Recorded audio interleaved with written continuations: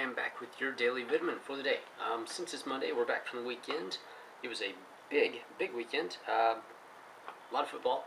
Um, I know there was a awards show on. There was fights going. I was watching the fights because I'm a big fight fan.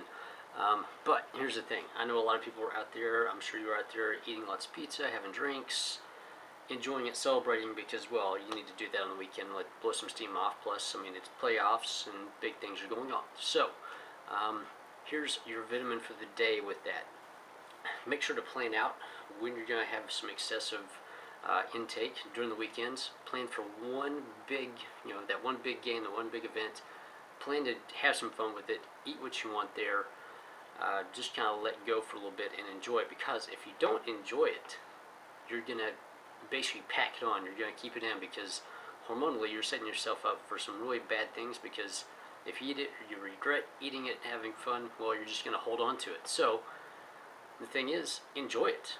Enjoy it. Enjoy the food. Enjoy having the feasts. Feasts are a good thing. So uh, the other part of that is during the week, for those you know five days a week, Monday through Friday, be as good as you can. Uh, have great meals. Have your breakfast. Have your lunch. Have your dinner. Have your snacks in between. Do the best you can all week for you know five days, all five of them. Count them off and then Saturday or Sunday, plan for one big, nice, big, fun feast. Have some fun with it because no Super Bowl's coming up. Everybody's going to do that, so try to have some good things to eat there. But plan for that big, one big feast and enjoy it. Enjoy it so you don't hold on to it. You actually utilize it. Okay, so that's your vitamin for the day. Have a great week.